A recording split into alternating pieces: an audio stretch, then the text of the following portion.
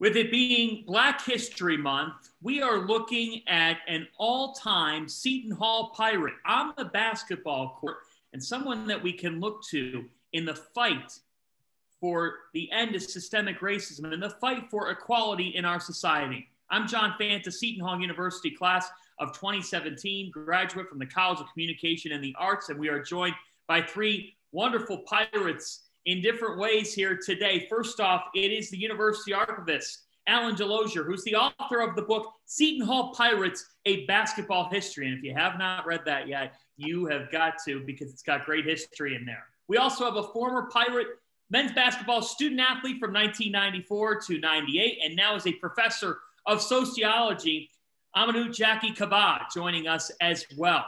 And finally, the great Mo Mirghahari is with us. Mo is the Tom and Ruth Sharkey Distinguished Visiting Scholar and the co author of the article Gentle Giant Walter Duke's Legacy Lives On in Seton Hall Lore. So we are talking about the one and only Walter Dukes, whose number five is retired for Seton Hall basketball.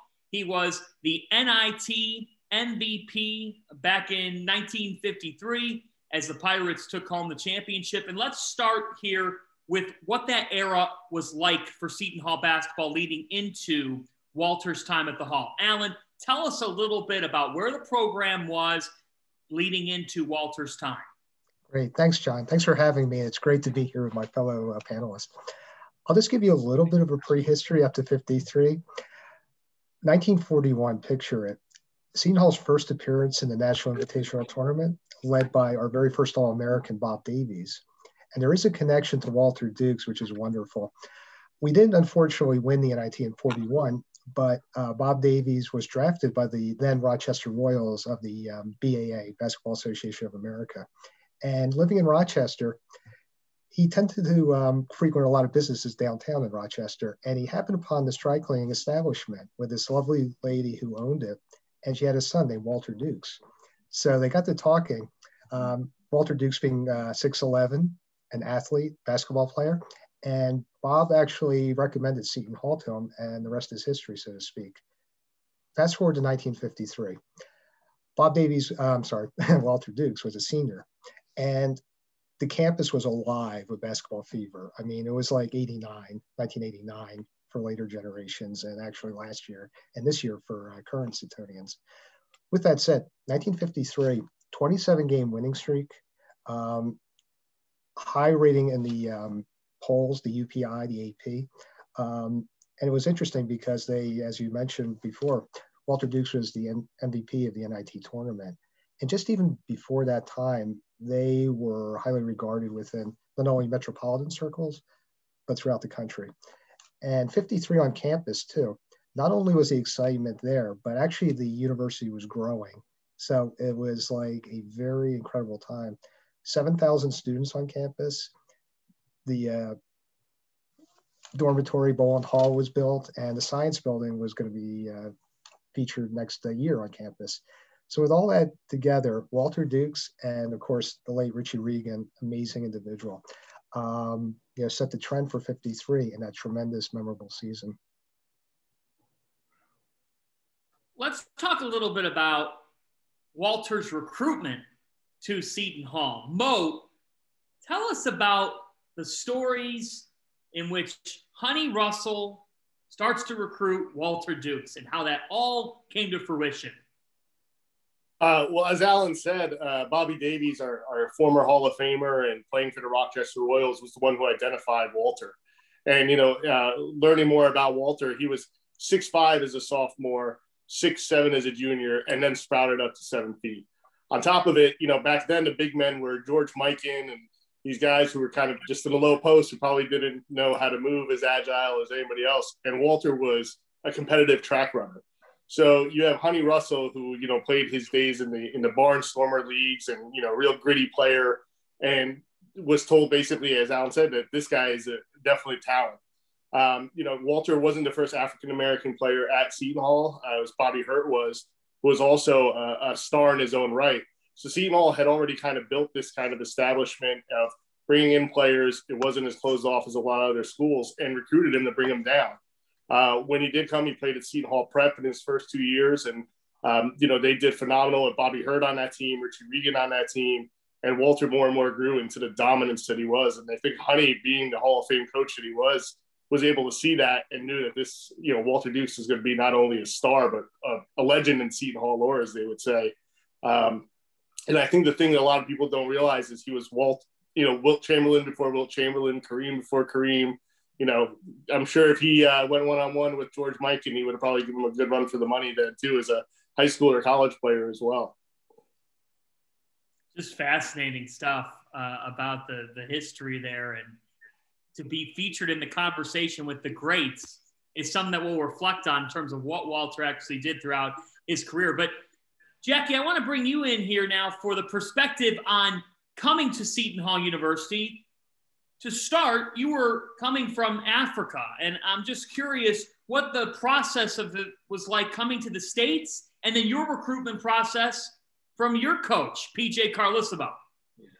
Well, it's it's really interesting that um, we are talking about uh, Walter Dukes, and he was 6'11 and it just happened that I'm also 6'11. So in a sense, I'm like the flesh, I'm his flesh, his body sitting here while you talk about him. So that's very interesting um, that it just happened this way. Um, I went to high school for two years in Washington, D.C. Um, I came in 1992, and so I played for two years at St. John's College High School in Washington, D.C. And so that's where I was recruited by PJ Carlesimo. So he actually came to visit us during practice and and he he he recruited me. He said he wanted me to play for him. Um, I came and visited the school. The school was very small, which was something I was looking forward to. I wanted a small campus, and I was also interested in the United Nations. And the United Nations is right here in New York City. And so then I said, this makes sense for me to come here because I would like to work at the UN someday, and I can play on a campus that's also very small, playing for a, a great coach. And and the, the the guys on the team were very nice to me also when I came to visit Adrian, um, John Leahy, and so they were very, very nice. So it was just a very easy decision for me. That's awesome stuff. We'll continue to talk about your journey and looking back now to the Walter Dukes era. The 1952-53 season for Seton Hall basketball was a program changing one, Alan. They end up being number one mid-season. They win the NIT championship give us a taste and a feel of how Seton Hall was able to climb all the way up to being the best in the country and what it was like around South Orange, New Jersey. Okay, my pleasure, John. And actually, I should say, with Jacky's perspective and Mohamad's perspective, it's all part of the Seton Hall history story, you know, Walter Dukes going forward. And, you know, just looking back, this is exciting because I, bring up 1989 again. Um, I don't know if anybody was here for that event, and I heard about it secondhand. But apparently, South South Orange Avenue was a mob scene when the team returned and had a um, victory party for them. You know, even though they fell short, you know, the effort was incredible. And 53 was the same way. And even though the 89 team came from Seattle back to New Jersey, and you know, basically the uh, 1953 team played Madison Square Garden, they just had to come over the uh, GW Bridge or the Holland or Lincoln Tunnel.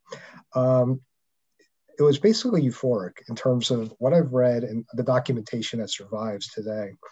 Um, and I should point out too that we've um, I've seen various video clips. Of course, the great Marty Glickman, who was an announcer at that time, who was actually a, a adjunct professor at Seton Hall for a year or two, um, you know, touted it from a national perspective. So basically, you know, the success and the uh, excitement on South Orange's campus um, radiated out throughout New Jersey, the metropolitan area, and throughout the country. So with with the NIT being the pre- preeminent uh, tournament at that time, so yeah, I can't say enough about how that factored in and how it went forward. And even just um, just a quick uh, aside, before the 52-53 season, um, Seton Hall's trajectory went up when Walter Dukes was in the varsity lineup. Um, 24 and 7 in 1950 51, and 25 and 3 in 1950 and 52. And each year, including 53, they were in the final um, UPI and API rankings very high up in terms of their uh, um, final standings and also NIT appearances each year. So basically, excitement abounded in South Orange and beyond for the Seton Hall Pirates. Jacky, I yes. wanted to follow up with you because I'm, I'm hearing all these things about you talking about the fact that you almost feel like you're talking in the flesh uh, of Walter being six foot 11 as well. And Alan's bringing up all these historic numbers and all the greatness of Walter Dukes. And we heard Mo talk about, you know, some of the names, Bill Russell and, and Wilt. Had you heard about Walter Dukes, Jacky? Before I came, no. Um, but interestingly, when I arrived, Richard Regan used to be on campus all the time, and he just fell in love with me, and he kept coaching me, and that's when he kept bringing Walter Dukes, Walter Dukes, telling me to keep my hands up whenever I catch the ball, and I was not able to do that until my last year playing. So if you go back and look up the videos of my games, it was my senior year. That was the final time I could like do what Richie Regan was telling me to do because he said that's what Walter used to do. That I must always keep the ball above my head but it took it took me time. Um, but he was very nice to me. So he told me a lot about Walter Dukes because he was on campus all the time and he was just a great, great human being uh, in terms of giving me advice and, and, and coaching me. Mo, let's look back at that season again in 1952-53. So Seton Hall's the number one team in the country. They're 27 and 0 heading into March. Just amazing. Simply amazing.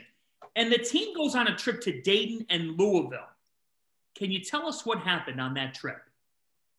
Well, everything off the research and everything I've seen, I mean, up to date, um, Hall hadn't played as far as Philadelphia. If you look at their, their schedule, they played mostly at the Walsh Gym, the Armory in New York, uh, Rose Hill, where Fordham played. And they never actually ventured outside, I would say, the tri state area. Uh, Hall actually had beat both Louisville and Dayton earlier in the season as well, and pretty soundly too. I think by 11 or 10 points for each game. So I think it was a combination of things. Uh, obviously, going to Dayton, you know, the Richie Regan and you know one of his quotes, he said one game was stolen and one game was hard earned. And I think the Dayton game was hard earned, but they ran into issues when they arrived in Dayton. They had to stay on the bus. Uh, there was another player um, that wasn't allowed to stay in the hotel as well, Frank Benaya, who was of Dominican descent, actually. So that game was actually pretty hard fought. Uh, there were some things, but then when they went to Louisville, is actually where all the racial animus and hatred came out. Um, obviously, it was you know the first time that season they had been to the South. Uh, Walter, you know, would get called for fouls before the, the whistle and tip even happened, and you saw it 7,500 people, you know, against 12. And we saw the the team had to stay on the train for the night. They weren't allowed to stay at the hotel. And you know, we uh, Seton Hall and you know Richie Regan used to say too, we're New Jersey players and we're gritty. And I think that with the combination of all the, the hatred that was towards Walter and, and Frank kind of really spilled onto the court. Uh, you know, if you look into Time Life magazine, there's these disturbing images of our players laid out, what they're doing to Walter. And, you know, they ripped the, his miraculous medal off his neck and they were coming for him. And, you know, for just being a team and you know, just the priests were their bodyguards, and I don't know how much bodyguard training they get, but they really had to get Walter out of there before things really got ugly. Hmm. Um, so I think that was where, you know, those two losses really came, you know, the impact. Because otherwise, if you had played those probably in the New York area, they would have been 29 and 0. Uh, and I think lastly, it's, you know, the era then, people don't realize Jackie Robinson was only just a few years before that, right? And Brown uh, versus Ed hadn't happened. Louisville had just desegregated, uh, but there was parts of the city that was still whites only. So that that city was way behind the times, and you know they were still living in a, in a different era. And they when they see Walter Dukes, who I think averaged uh, 26 and 22 that season, coming in and, and, dominating, and that game at Louisville, he put on a, a show. You know the, the people there just bring it out, and it brings out the worst in them. Yeah, your article mentions that gentle giant Walter Duke's legacy lives on in Seton Hall lore. And in that article, I, I find what you just said so enlightening. Jacky, to Mo's point, Mo talks about the fact that the teammates, yes. his coaches, were supportive. They were there for him mm-hmm. during those moments of adversity, of, of racism.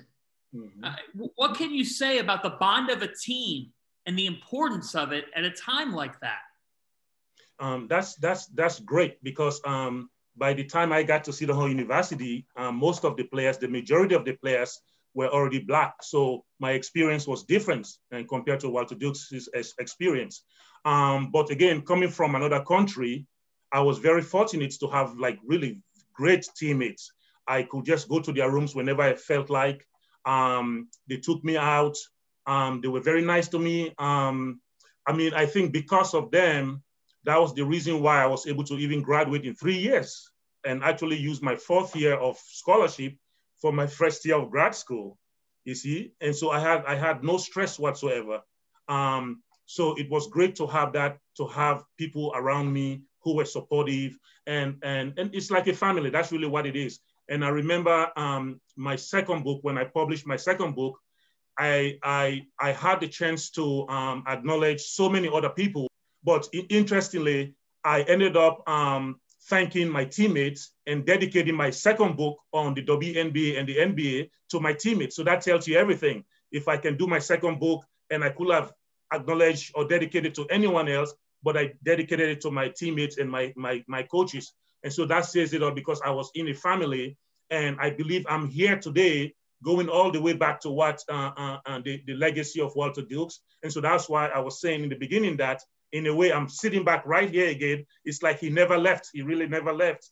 And but now we're talking about his legacy, and I'm an example in terms of the struggles that he went through for someone like me to tell you the experiences that I'm having now. And to that point, on what it's been like in the now, bringing this back to where we are in present day, where we've been as as a country, we have work to do, and and I'm just it, it brings up that point, Jacky, of what I look at this year, actually, in college basketball, is a lot of teams, coaches, student athletes, all speaking out for what is right. Just as we do this conversation, the Seton Hall men's basketball program is talking about the human race. They put out a video earlier today talking about how important it is to come together during these times.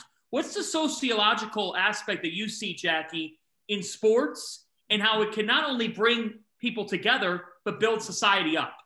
It's really true, right? Um, I've told my students that I said religion, um, sports, entertainment, right, and musicians, right, tend to bring people together, right?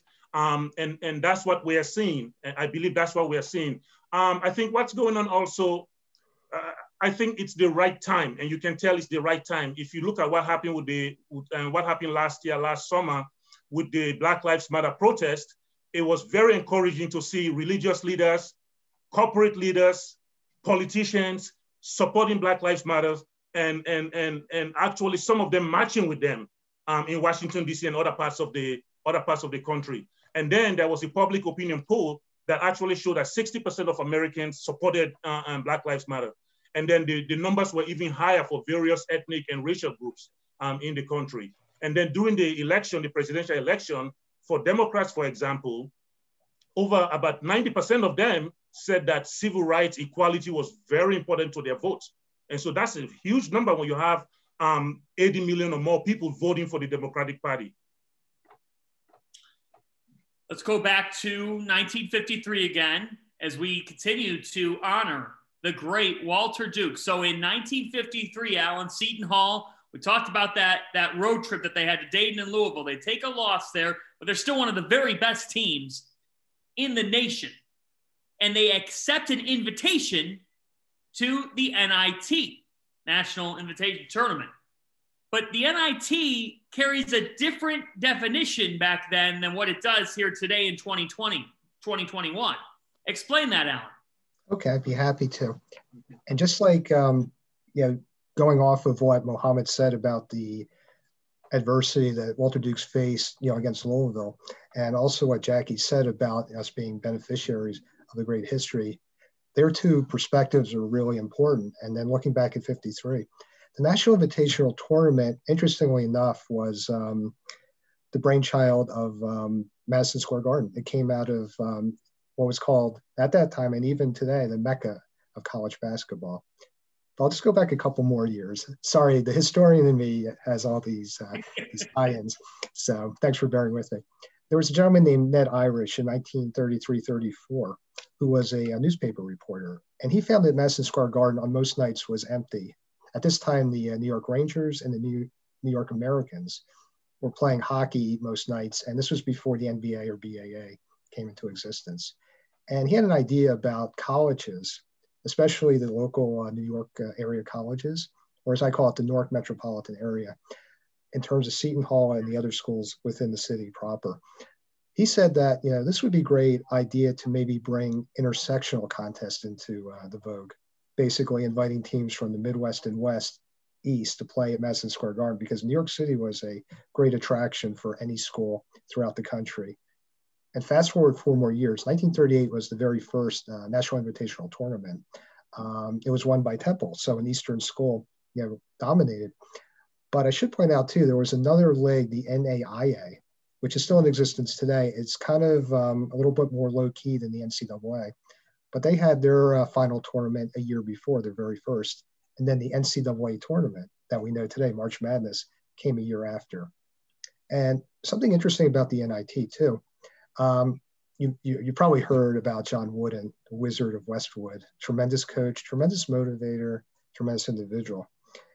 Before he coached at UCLA, he coached at Indiana State, and he brought his team to um, the NAIA championship, and he was the first to integrate postseason college basketball.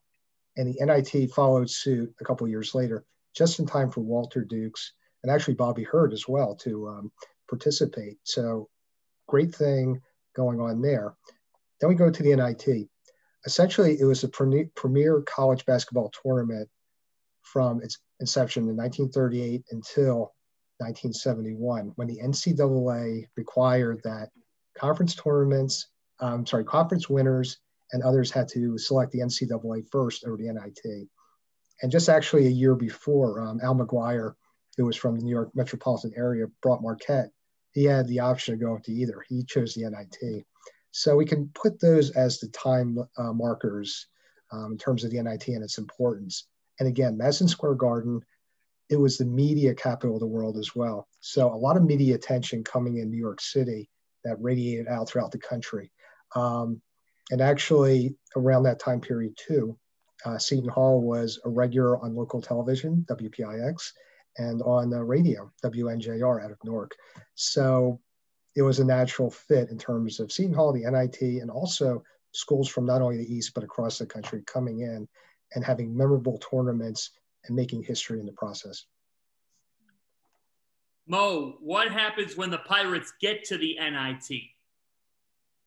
Well, I think the Pirates were, were looking at their next opponent. They happened to be in the same bracket as Louisville, and I think they were thirsty for a little revenge. So they had a, a slump game against Niagara, which they only won by five points. And I think they were just looking forward. And I'm sure a, a great Hall of Fame coach like Honey Russell was more upset they were looking forward than looking at now. Uh, Louisville got knocked off, which you know probably was a just desserts because they didn't, uh, in my opinion, deserve to be there after what had happened to Louisville. But uh, Seton Hall and Walter Dukes and Richie and everyone went on to, to crush Manhattan next. I think it was 74 to 56. Uh, and then they won against St. John's, uh, which kind of seems to be a trend for Seton Hall, uh, and winning the national championship. Uh, on top of that, Walter was the MVP. I mean, Walter was the NIT MVP. The team had won, and it was one of the greatest uh, victories that you'd seen. a great story. You know, the team went 31 and two uh, was that the local mayor had invited all the coaches to a big dinner hosting Seton Hall, and every coach attended the dinner except the coach from Louisville.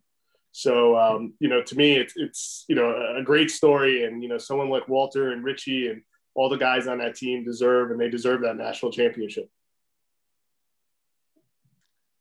It's just a, a remarkable, remarkable story, and uh, what a story for the Pirates to fight through those different things that go beyond basketball and come out champions on the court and even beyond uh, what happens in the score of a game. Alan, I'm curious here. His number is retired, number five. He was an All American, a consensus All American. He was the NIT MVP. He became a two time All Star professionally. Where does Walter Dukes rank among the all time Seton Hall greats? Wow, that's a great question. Um, I'd say Jacky is one of them, but also Walter Dukes in terms of um, all-time greats. I'd say he'd be up there, depending upon who you ask, um, in the top three, maybe even the greatest ever. Based on the numbers, that? based on yeah. the numbers, also his impact. Of course, the NIT championship, and actually, you know, if um, I'd say as a um, as a student athlete too, because a lot of people don't know that um, he was very well rounded. And I, I, put this into the factor as well of the area of student athlete. I'll just read you some of the things he was involved with, along with being a standout basketball player. He was a member of the uh, Business Club, Interracial Council, Philosophy Circle, Marketing Club, Insurance Club, and the Spanish Club in between um, playing on the court and also classes. But overall, he was uh, at the time of his graduation only one of three members of the Thousand Point Club with our friend and uh, you know hero Richie Regan and Pep Frank Pep Saul from the uh, late 40s. So, and just the numbers were astounding. And first team consensus All American. On top of those things, just thinking about some of the other things that Walter Dukes did. Of course, got his bachelor's degree from Seton Hall. He gets drafted by the Knicks. He played of course he did. He played for the Harlem Globetrotters before going to the NBA, as if he didn't have enough already on his resume. And he was a, a, a two time All Star, as we said, with the Pistons. But he also then, folks, went on to earn his law degree at NYU and was successful as a civil rights attorney and in real estate. This man did it all. He's a perfect representation of Seton Hall University. And going back to you, Jacky, we're hearing about how Walter made the most and how he, he went above and beyond in his student athlete experience. What reflections do you have on Seton Hall student athlete experience and how it builds you? Um, well, um, as student athletes, we are very fortunate and we are protected to some extent. And so, for the most part, I, I told someone we do not go through the typical experience of um, ordinary students, right, or regular students, um, because we are athletes. Um, so we have the opportunity to go to school all year round. For example, we just take classes. I remember when I came here, they just told me you can take as many classes as you want all year round. And so that was the reason why I was able to graduate early. Um, when I wrote my book on the WNBA and NBA, I realized that there are tens of thousands of us or more who actually earn our bachelor's degrees or higher from being student athletes. But this goes back to what uh, Walter Dukes did in terms of opening the way for people like us. But it might not just be uh, those of us who are student athletes, because sometimes by people seeing him on the college campus, that might have inspired other young people who are not even athletes, right, to also go to college. And as of right now, um, as of 2019, I mean, I like to look at the glass half full. I can on, it's always good in my in my work you know, I, I, I call myself, uh, in terms of my research, I believe that I'm an activist, but I do so through my research. Um, but I also like to look at the glass half full. As of 2019, December 2019, there are 5.23 million Black Americans or Black people in this country, age 18 or over, with at least a bachelor's degree. 5.23 million people. So at least there are good things happening if you look at it from that point of view. In 2019, 3,095 Black or Black Americans got their doctorates in this country. Now, some of them went into debt all the way up to their eyeballs to pay for it, but it's always, it's, it's always good to go into debt to get your education, especially when it's doctorates. And so I, I like looking at the glass half full. So I think what he did, being a civil rights uh, uh, uh and lawyer, for example, representing people, agitating, fighting for, for, for the rights or equality, I think that has contributed to the numbers that I'm giving you now. In 1970, for example, only 4.4% of African Americans aged 25 and over had at least a bachelor's degree, 4.4%. In 2019, 16% of the number I just gave you, 5.23 million, uh, age 18 or more, had at least a bachelor's degree. So you see, that's a big, big improvement. So at least we are not stagnant or we're not going backwards. We are going forward as we continue to perfect the union as, as, as, as we all say. And you are so humble, Jacky, because you talk about the, the book uh, with the NBA and WNBA, but you have almost 80 scholarly publications, six books, 50 full length scholarly journal art- articles. So, all of those classes at Seton Hall University said you could take a class whenever you'd like. I, I think it might have paid off. Yes, it did. And it's so interesting that now I have student athletes in my courses and they've probably find me to be one of the strictest um, professors. And so it's very interesting, including men basketball players, but yet they find me to be very, very strict. And so it's very interesting. We live in a very interesting world. Mo, how does Walter Dukes continue to inspire you today and in our future? I mean, Walter's story, you know, and I, I kind of never gave how I ran across it. Uh, after 9 11, uh, heard some things. Name was Mohamad, and I was working the athletic department, and someone actually handed me the Time Life magazine and said, "Hey, take a look at some real adversity." And reading and learning about what happened to Walter, I mean, is a lesson for everybody from now and through the time that he went through that. And I think one of the things that Seton Hall made so attractive to Walter, that makes so attractive to our student athletes now, our men's basketball players, is our area in New, North Jersey, New York, is a, a state full of first generation Americans. Richie was a first generation American, and I got to know him when he used to come by the athletic department, like Jacky said all the time.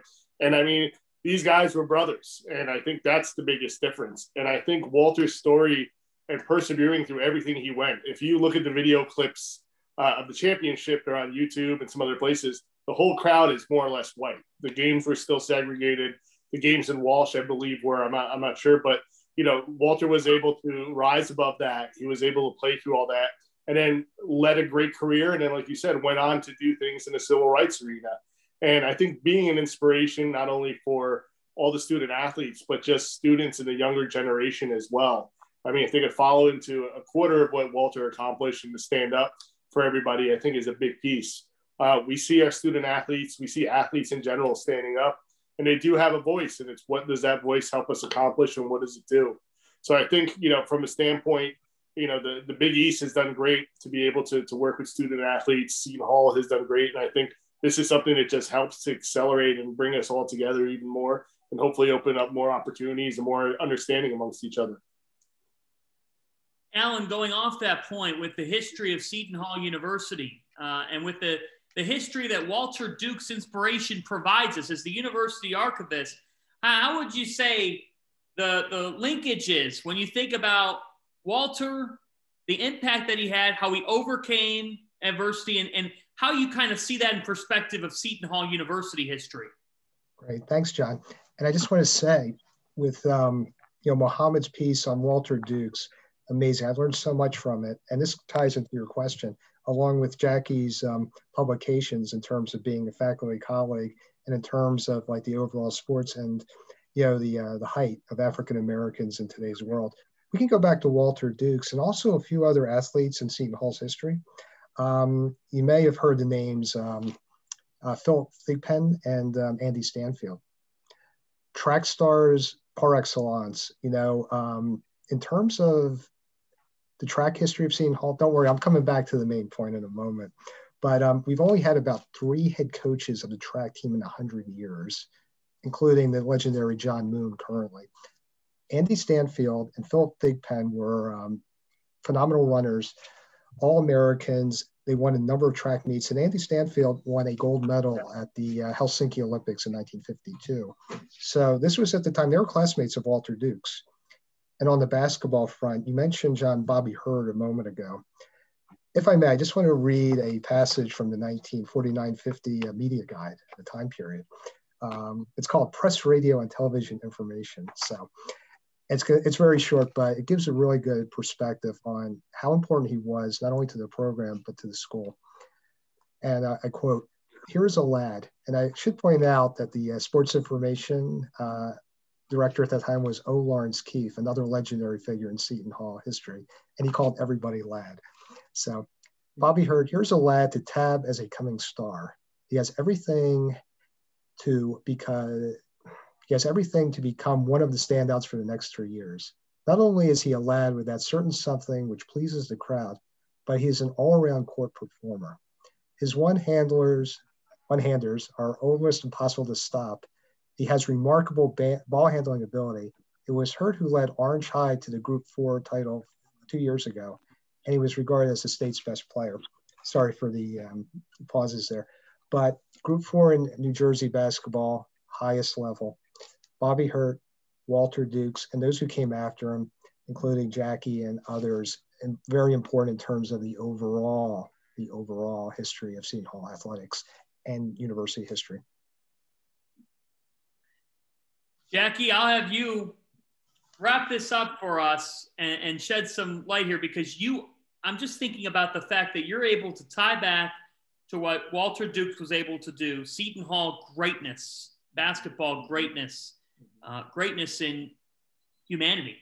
Yes. And now you are teaching, you are with the future, the future leaders, all the different people that, that we are going to rely upon here to help us into our future generations of course, I hope that we're only going to build, like you were saying, we have to keep on building up.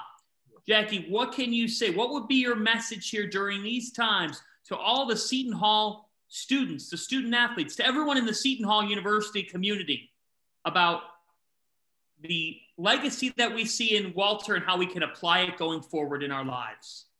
Well, I, I am optimistic, um, and I tell my students that also. And I also show it to them in terms of how hard I work for them. Um, so for example, last year, I was telling my current students, because I teach a course, research methods, I spent over 200 hours working with my students, right? Apart from teaching, just meeting with them on the phone, uh, using Microsoft Teams, just to help them with their research. And, and many of them actually remember that. And I believe that's something that they are going to remember in the future to say, um, he did not care whether I was white, whether I was female, whether I was Asian. He just kept working and working and working with me until now. I feel very good about myself in terms of being a social scientist and being a researcher, doing social science research. Um, so I'm very optimistic about the future. We have we have not so good things that have happened, right? It's out there. That's what we are talking about. Um, but going back to Hall University, as someone, for example, who attended a Catholic institution in Africa, here in Washington, D.C., in the United States, and then now Seton Hall University. Um, I've told my students that there is a unique relationship between Black people and the Catholic institution itself, right? It's not perfect, right?